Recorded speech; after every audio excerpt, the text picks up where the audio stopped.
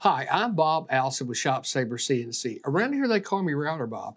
This video is a continuation of our engineered face frame video.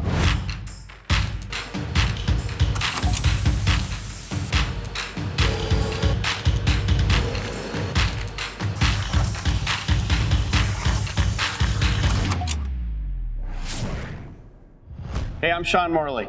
Thanks for joining me for part two of the engineered face frame video. Before we get started, let's talk about what we did in part one. Router Bob showed you in the software how he's gonna design the beaded face frame on this video. What we're gonna do today is we're gonna cut that. Now let's talk about the tools we're gonna use. Tool number one will be a 3 8 down cut. We're gonna use that for the reverse machining on the face frame to cut all the dados. Tool number two is a 3 8 compression bit. We're gonna use that to cut out all of our parts. Tool number three is an eighth inch tapered ball nose bit. We'll use that on the inside of the frame to do the whole cutout. Tool number four is gonna be a 30 degree engraving V-bit. We're gonna use that to give us our nice sharp corners on the outside of that beaded frame. Tool number five will be an eighth inch down cut bit. We'll use that to give us the eighth inch reveal right next to the bead. And the final tool we're gonna use is a bead bit from Vortex. We'll use that to create that bead on that face frame. All right, that's a lot of tools.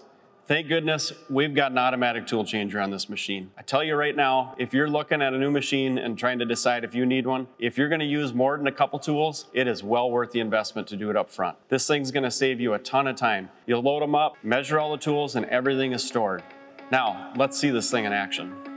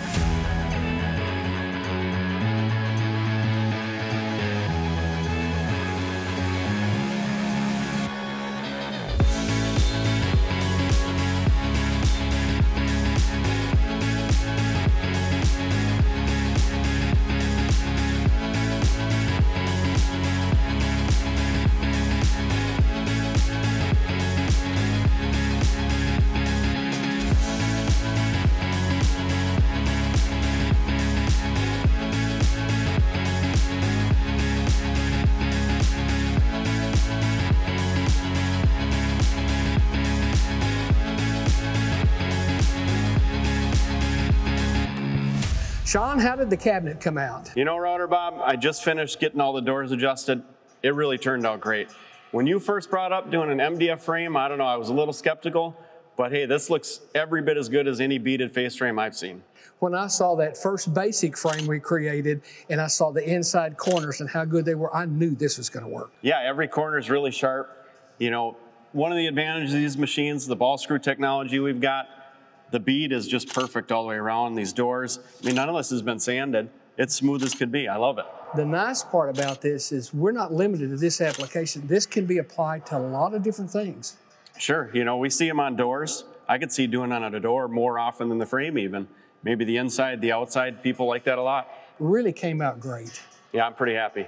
Well, I hope you enjoyed the video. If you'd like to see more videos like this, be sure to subscribe to our YouTube channel. If you need more information, you can contact us at shopsabre.com. And be sure to check us out on Facebook and Instagram. Thank you for watching.